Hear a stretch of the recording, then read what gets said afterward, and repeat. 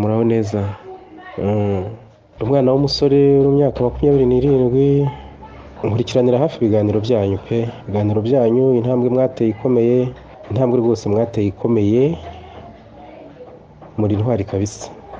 Hanyuma rero ngira ngo uwavuga yavuga ibintu byinshi cyane byaba byinshi. Ukurikije agahinda imibabaro abantu tuba dufite mu mitima umuntu yavuga akanacanganyikirwa akabura aho ahera akabura icyo avuga n'icyo areka. Sibyo? Byaba byinshi pe? Gusa twarumiwe. Turumirwa turumirwa natwe tuba hanze y'igihugu. Ugiye ukurikiza ugiye ureba uburyo abandi bantu babaho. Ukareba ibindi bihugu uburyo bibaho atari uko binakiza ariko ukareba uburyo bibayeho.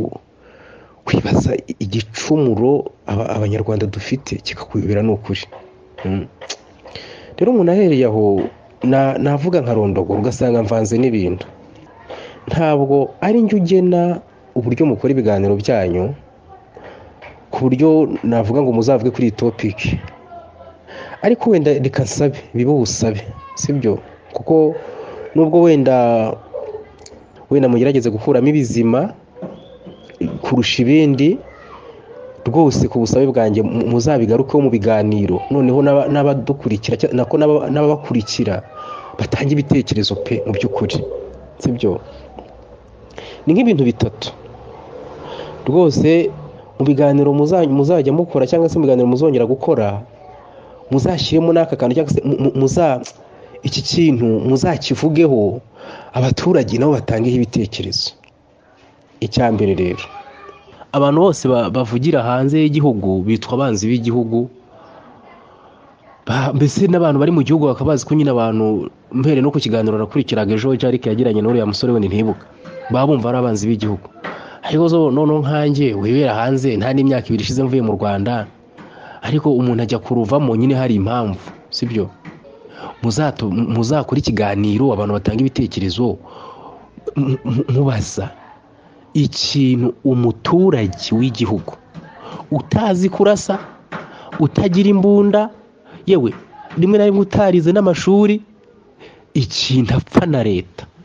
Sibyo ikintu apfa na leta. Mbese ahantu yaba yarahuriye na leta akayikosereza? Ku buryo leta imubanira uko ubona imubanira. Igituma leta ibanira umuturage uko imubanira. Bahahuriye umuturage yacumuye kuko leta ifite abantu benshi yita abanzi bayo. Ngira ngo yagakwiye kubihangana nabo ifite ibibazo byinshi cyangwa se intambara nyinshi zo kurwana zaturuka kuba yita abanzi bayo. Ariko se nk'umuturage bapfiki yacumuye sibyo? Ibi ndabivugana agahinda wenda nk'akagero kamwe natanga kamwe gusa. Ubwo ni ingingo ya mbere ndiho. Ikintera kuvuga ibyo. Kubona umuturage baca kuzunguza ibingibi byo abantu bizungurizaga utuntu n'utundi. Noneho uwo bafashe ngo yarenze ku mabwiriza yatanzwe. Ntibite kureba igituma umuntu ayarengaho bagafata umuntu w'umubyeyi wasohoye bitanu byiwe akajya kubiranguza wenda utubuto ari kuzengurukana umwana mu mujyi n'agataro ku zuba bakamushorera bakajyana ku kagari n'izo mbuto ntiba bazimena ntiba bazirya aho bazishyiraho ntumbaze ariko ikibazo cyo ni uko bazimwambura barangiza bakamufunga noneho akazanavamo atanze amande. Umuturage nk'uwugirira gutyo. Rimwe na rimwe utarageze no muri pirimeri udatunze imbunda utateze kuzagukorera kudeta uwo muntu uramuhana gutyo kuva ikindi gute kuko mu by'ukuri. Nk'aho wakarebye igituma arenga ku byo umubwira ahubwo ngo abe ari cyo urwana na cyo. Ngewe nibera hano muri zambia. Ntiyizeye mu buryo bwo gushakisha amafaranga. Ariko ukurikije ngufatiye nk'ividiyo uburyo abaturage mu mujyi baba bibereyeho sibyo? Uburyo abantu baba babayeho mu mujyi. Umuntu abyuka mu gitondo akarambura icyo ashatse hariya ntawe umubaza ngo uri mu biki. Kuko mu bibazo leta ifite mu ntambara leta iba ifite ntabwo ntekereza ko harimo n'izo guhangana n'umuturage. Icyo ni kimwe. Muzatubarize muzakore ikiganiro n'aka kazemo. Mwibaza atari ku wundi umuturage apfa iki na leta gituma abantu baba mu nteko wagira ngo nta kandi kazi kabicaza mu nteko uretse ko gucurira umuturage imi- imigambi imwica. Ni ukuri kw'imana. Icyo niko mbibona? Ubwo iyo urebye wagira ngo inteko niyo gucurira umuturage buri munsi ibintu byose bisohoka ni ibyica umuturage. Hmm? ako ni akagero gato ntanze kuri uwo muntu wo hasi cyane. Aho ugiye kuvuga iby'abasenyerwa ukuntu ushobora ku- kuza ukabwira umuntu ati wowe utuye mu manegeka. Ahantu utuye ntihemewe ukahamwirukana nta handi ufite umwerekeza. Ubwo umuntu uba ugira ngo ajye. Mu by'ukuri. Noneho akandi gahomamunwa warangiza ugakora politike mu isi yose ivuga ngo nta mpunzi y'umunyarwanda yemewe. Harya utahunga amasansu utahunga amasansu ngo nuko igihugu kitarimo amasansu ibyo byo ntiyabihunga koko? N'izuba bagusenyera nta handi bakwerekeza.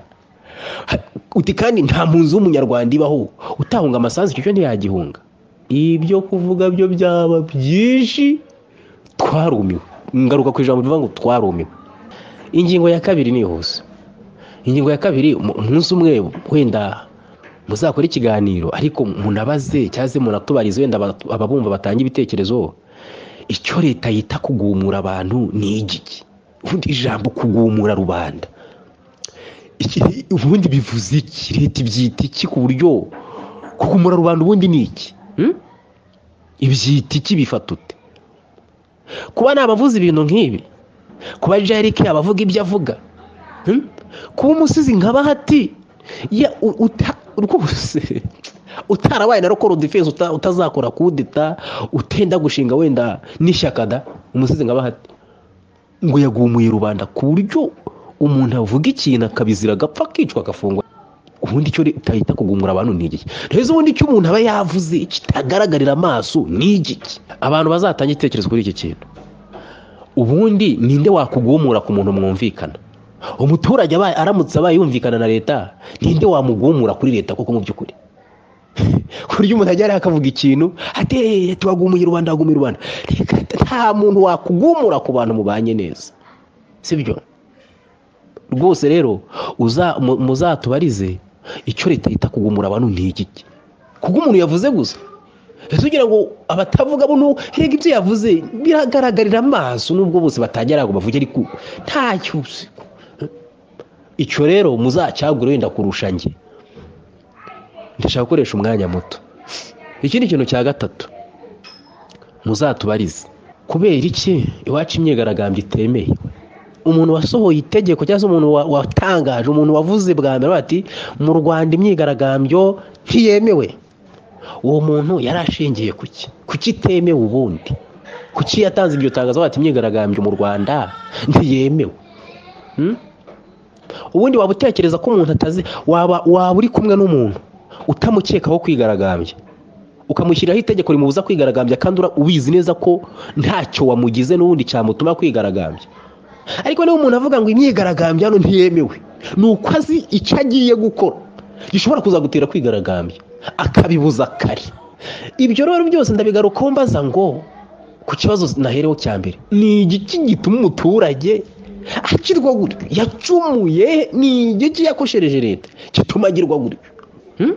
nsoreje aha sinifuje kuvuga ibintu byinshi byaba byinshi cyane ariko ibyo bintu bitatu. Hmm? igituma ibyo bintu bitatu mvuzeho. Muzabidukorereho ikiganiro.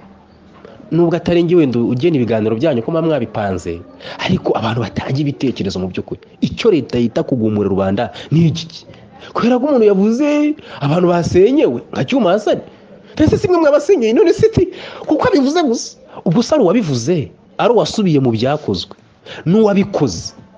Kunyacyaha ninde ku buryo njye wavuze ati he hari abasenyeye umuntu ndafunzwe. Uwabikoze ari indegembyo gusa koko mu by'ukuri? Hmm? rero ngarukiye aho. Byaba byinshi cyane. Wenda tuzajya dukomeza turusheho tuganire. Inkunga uko umuntu ashoboye izo ari zo zose umuntu yazitanga kuko turabashyigikiye. Turabashyigikiye ariko ndakubwiza ukuri urugamba murimo ntabwo rworoshye. Mm? ibitekerezo byaba byinshi ni ukubashyigikira pe. Gusa ibintu by'i rwanda ibintu by'iwacu iwacu ntimukabifate nk'ibintu byoroshye. Ntabwo byoroshye turi urubyiruko turacyari bato ntabwo byoroshye. Nk'ubu n'ibi ngibi mvuze rwose kuri bo ni nko guca inka amabere. Ariko ntacyo mvuze kidasanzwe. Ariko ubu nanjye ndi umwanzi w'igihugu kubera ko mvuze gutyo. Ariko ni igiki mvuze cyampindura umwanzi w'igihugu koko. Hmm? ntabwo byoroshye. Abamotari mu minsi yashize bakoze imyigaragambyo barenga ku, ku, ku- ngo kuba iteme barayikora nubwo na yo nyine yasaga kuri abayibonye. Sinzi ko nanayita imyigaragambyo ngira ngo. Barabahorahoza barabacecekesha birakunda. Ariko umunsi umuturage we nubwo na byo bizava kure. Umunsi umuturage yarenze kuri iryo tegeko rivuga ngo imyigaragambyo ntiyemewe. Akabirengaho akabikora umunsi umwigaragambyo w'umuturage watangiye. Hoho sharika bwiza ukuri. Nta sha aho ho hazaca uwambaye. Ntawe uzaruhoza. Ngira ngo ikintu cyanarangiza ibibazo by'iwacu gishobora guhindura gishobora kuzana demokarasi nshyashya. Ibitekerezo byaba byinshi. Musana jarike turamushyigikiye ishyaka turaryumva turi urubyiruko ni umwenegihugu. Rwose ryabona n'abayoboke rwose twaritora rikaba ariko kugira ngo noneho nyine kugira ngo ri- ri- ri- rigire demokarasi yaryo rigere ku butegetsi. Nta- sinkubishye ntabwo cyaba ikintu cyoroshye. Sibyo? Ntabwo cyaba ikintu cyoroshye. Kubera ko iwacu urabizi nta mashyaka ahari haba arimo. Ibyo tubyemeranyeho rwose ntiriwe njya mu busobanuro bwinshi ishyaka nirimo. Rero ikintu cyarangiza ibibazo by'iwacu gusa. Baba we. Reka nzabigaruke ikindi gihe wenda nimunyemerera cyangwa se tukemeranya mu biganiro tukemeranya twemerana. Reka nzabigaruke ikindi gihe nimunyemerera ngarukiraho. So murakoze cyane rero. Mugire akazi keza mugire ibihe byiza aho muri. Ntibyoroshye rwose ntibyoroshye ariko mukomere basi nta kundi. Mm? ibindi ni gake gake. Nk'ubu uramutse ubajije ikibazo ukabaza ati umuntu wacuruzaga caguwa bakimara kuyica yagiye. Ubu asigaye abahe arya ate? Atunzwe n'iki? Ukabaza ati harya wari umukomvayeri uwo muntu yagiye he? Abahe ubu atunzwe n'iki? Ukabaza ati umuzunguzayi bakimara kubuca yagiye. Ubu aba hatunzwe n'iki? Ukabaza n'abandi n'abandi harya uwasenyewe ni ukuri kw'imana isumba byose ni ukuri kw'imana iyaba leta yamenyaga umwanzi igira akaba ari ihangana nawe. Ariko ndabona umwanzi wa leta yarabaye umuturage. Ntabwo nzi ikintu bapfa sibyo? Kuko usibiza abantu ubona barabaye abagome mu biro abayobozi ubona ari abagome kugira ngo iyo umuntu wamuhaye inshingano zo kuba umuyobozi ahita ahinduka n'imvugo igahinduka ngira ngo uzabibona abantu bose abantu hafi ya bose mu ma ofisi njye nigeze kujya mbyibazaho ndibaza ariko nzi ko abantu b'iwacu bose hafi ya bose sorry hafi ya bose siko basigaye bavuga nka nyakubahwa perezida wa repubulika paul kagame. Bafite ukuntu bavuga rwose tigeze kubyibazaho numva nkaho ba- ba- bavuga nka nyakubahwa perezida wa repubulika. Noti kumwigana muri voyisi ahubwo mu nk'abanyakubahwa kwa you see? Se nta abantu na daso uwo ari we wese uzagera ku munyerondo azakwicaza. Kwese iki gihugu turimo ibi ni ibiki? Ese ninde wabwiye abayobozi ko abanyarwanda ari ibyihebe ko batuyobora nk'ibyihebe he? Aho umuturage yananiranye? Urumva? Twavuga byinshi tukagaruka ku bya korona nkatwe yabaye turi hanze. Twavuga byinshi. Kufungirana abantu umwaka mu nzu. Iyo yararangiye reka ne kuyitindaho so ngarukiye aho? Uduhinda uwabivuga yatondora. Kandi mu by'ukuri twaba dufite na mwaye yo kwicecekera umuntu agaceceka akarenzaho sibyo? Cyane ko umuntu yakakwiye kuba avuga ati narahavuye narigendeye aho ndi simbora arasimbwirirwa kanjye nicecekera. Ariko nanone mu by'ukuri birababaje kuko nubwo tuba dukora tuba dukeneye no kuzataha. Mm? urugero hari umuvandimwe yagiye akora abitsa udufaranga mu gihugu aratubitsa atashye agiye kutubikuza ati twereke aho aya mafaranga wayakuye miliyoni icumi baraziboroka. Ati twereke aho wayakuye wayakuye he twe kaho nyumvira none ukuri kw'imana. Koko mu by'ukuri ibyo byo wabisobanura ute? Najya mu butabera agatangira kutwishyura mwavoka so imanza z'iwacu urazizi. Harya ubwo azacyura angahe gusa umuntu wabitse udufaranga yaruye ngo twereke aho wayakuye Yuuu. ibintu by'iwacu rero ikintu kizabirangiza. Ni inzira ebyiri. Nunyemerera nzagaruka ni- niko mbibona nizo nzira ebyiri zonyine zishoboka. Tubwizanyije ukuri zishobora kuzarangiza ibintu by'iwacu zikazana demokarasi zigashyiraho uburenganzira bw'umuturage. Wenda leta ikajya ihangana n'ibindi bibazo by'abanzi bigira hanze bagira ibyo bapfa ariko umuturage uri mu gihugu rimwe na rimwe utazi a na b wakumva ko ari furi mu gihugu cye. Sibyo ubundi umuntu wahaye amahoro ninde wamukugumuraho? Umuntu wahaye amahoro umuntu mubanye neza ninde wamukugumuraho ku buryo umuntu nka jarike ujya hariya akavuga ikintu ati "Eh, uri kugumura rubanda we? Bakahumva Hmm? Nka bahati cyuma n'abandi n'abandi sawa urakoze cyane. Imana ikomeze ibane nawe.